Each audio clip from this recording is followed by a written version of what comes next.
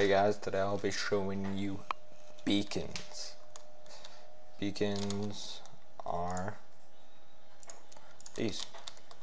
These little fellas that you just place on the ground and when you click on one you might be like, oh my god, what is that? Well, a beacon, there's three levels. There's the one simple level, which is this one, which unlocks the top those two, speed and haste. There's the second level, which unlocks jump boost and resistance. And then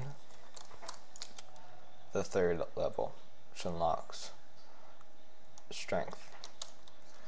And pretty much each of these, you unlock one. Um, let's just say, you know what, I want haste. So I would put in one gold or any of these click OK wait a second and then I have haste. But it's not like any normal potion. It keeps on regenerating itself as you stand around this. It has the AoE effect which is the area around it is affected by it. So if, but if I run too far away maybe? Yes. From far enough away, I lose the buff. But if I come back in contact, I regain it. And so this is nine of any of the blocks you use to get them. Diamond, nine of diamond in a three by three. Nine of emerald, nine of gold, and nine of iron. And these all the same things. Now this is a two height pyramid, which unlock we can unlock jump boost from this one. Or resistance I just choose jump. Done.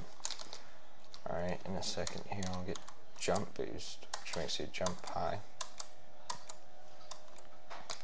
Alright. And that has a bigger area of effect. Ooh these are getting to look really cool at night. But alright for the third one it's three of these up and if it's not working I always fill mine in this is not hollow. And then it's three up which I can unlock strength. Alright wait one second. Now I have strength. I have all of these now.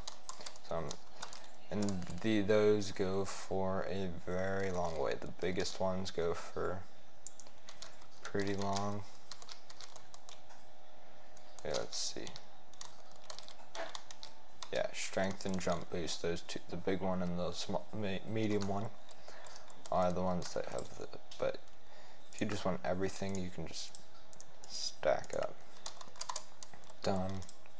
Go to this one. You want speed. Put that one in. Done. Then you'll just have all of them. And you'll gain like all of them and be unstoppable. I I will spawn in a mob or two. Um, let's actually get four zombies. Let's see actually how. Let's just make this.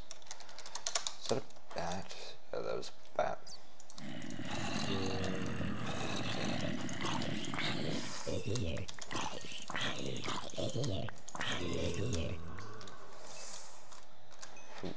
I'm kidding. I was flying. But see, you can use all these, say, around your house or anywhere. And you can just use them as a last resort kind of thing. So if you're being chased back to your home, you can just use one.